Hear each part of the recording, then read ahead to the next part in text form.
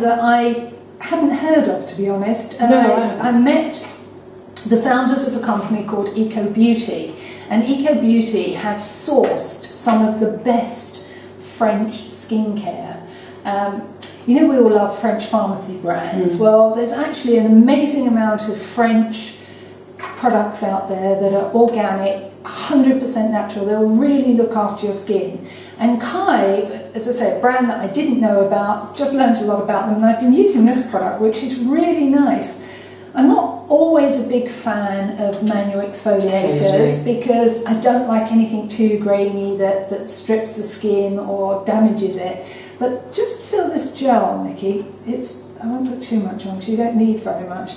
But it's got this very, very fine, it's got argan in here, and very, very fine exfoliating beads. I love the smell of It it. smells great, isn't it? Very natural, very light, Yeah, very Um, gentle.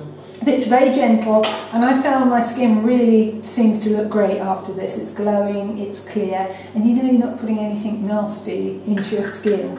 So this is Kae, and it's um, it's actually pretty reasonably priced as well.